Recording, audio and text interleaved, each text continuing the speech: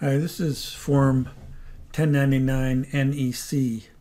Um, it's a brand new form for 2020 and it's used for non employee compensation. Um, if you've done this in the past, you'll remember that non employee compensation was always uh, filed with the IRS using Form 1099, 1099 Miscellaneous and MISC. But this year, uh, the IRS has decided to change things. And so they've created this new form, which is used exclusively for non employee compensation, which in some ways makes it easier because there's less fields to deal with on this form than there was on the uh, MISC. Um, so I want to show you how to electronically file this form if you want to use that option. Um, there's several reasons why you would want to do that. As one is you don't have to uh, order the form from the IRS, and also um, you notice here it says file with 1096. Um, if you're electronically filing, you don't need to fill out a 1096, so that makes things easier. And um, so this form works pretty much the same as the miscellaneous form did. Um, you enter the uh, payer's information here. Uh, in this case, I filled it out for a uh, a restaurant, a pizza restaurant. Um, so I have the name and the address and telephone number is required for for electronically filing, and then the um, payer's uh, identification number. In this case, they're a corporation, so they have an um, employee identification number instead of a social security number, and the recipient's uh, number goes here this is their social security number. So the recipient is Sammy Edwards, and this is his address. So there's really just one field here to fill out, which is the non-employee compensation.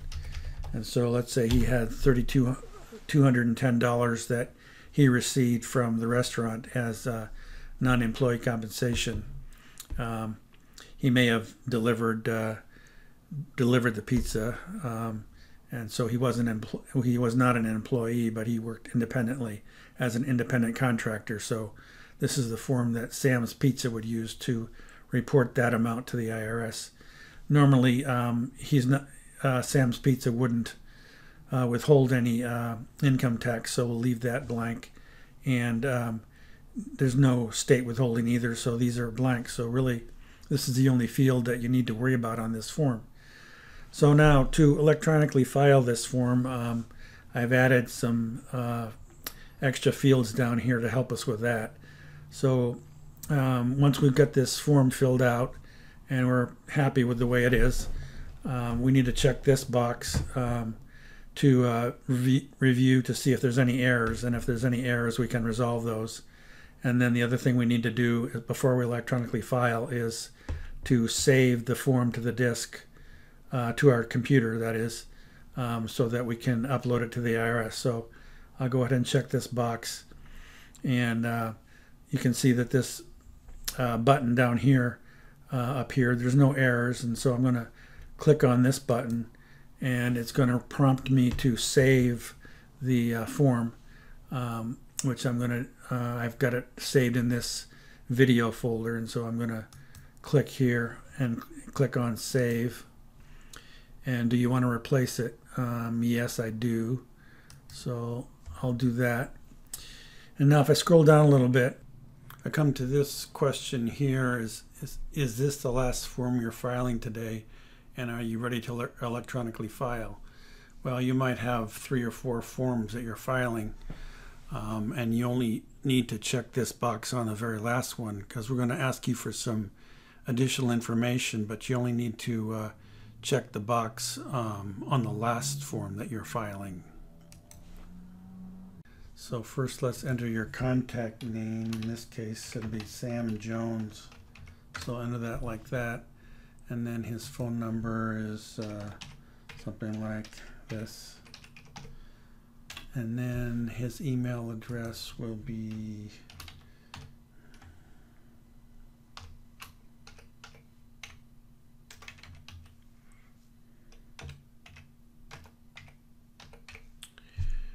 You need to enter that twice to verify it.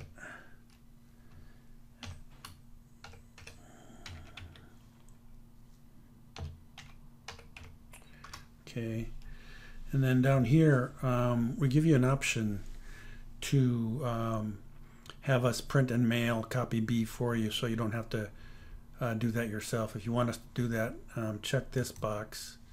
And then um, over here, you're going to enter the number of form of forms copy B that you want us to print and mail for you. So in this case, we're going to enter four, and the cost comes out to $26. And then finally, we need to do one more error check, and then we need to save our form one more time, and then well, we'll be ready to electronically file. So a, a web page will open where we can do that. So we click here, and we get this button, and then we um, need to save our form. So it tells us we need to save our form, and then we're going to get a web page to upload our form. So click OK like that, and click here and save. Do you want to replace? We'll say yes. And then we get this screen. Now this is where we uh, are going to make our payment so that we can electronically file. So in order to do that, um, I need to click on here to, to um, select the right number of forms. Uh, but before I do that, let me just uh, highlight this information here.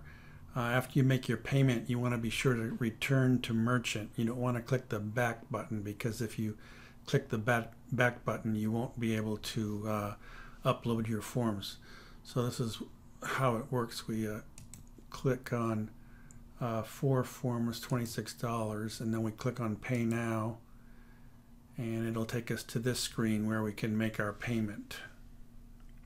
Uh, if you don't have a PayPal account, you can click here and it'll take you to a screen where you can um, file um, with your credit card. Now after I've made my payment, I'm going to click return to merchant and it's going to open up this screen for me here um, where I can upload my form. So um, first I need to navigate to the uh, folder on my computer where I've saved the forms at. So I'll click here and it opens up uh, Windows Explorer for me. And this is the folder where I've saved my forms. Um, you may not uh, get the folder when you first open it up. You may need to navigate it to it, but uh, for me it opened up where I saved my forms. And so I'm going to select my first of the four forms and I'll say open. And then um, I need to check this box to prove I'm not a robot. And then I upload the form to the IRS like that. And it says successful. Um, so now I need to um, upload the other three forms. So I'm going to click here. And again, I'll choose uh, my form. This time I'm going to do the second one. Say OK. And again, check this box and upload. And then I'm going to um, do that for my uh, other forms here, um, like that. My third one.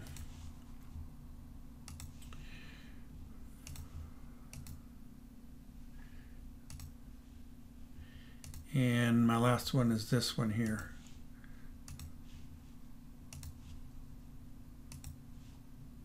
So that's it. I'm done. Um, and when um, these are accepted by the IRS, you'll receive a confirmation from us to let you know that they've been accepted by the IRS. So that's it. Thanks for listening.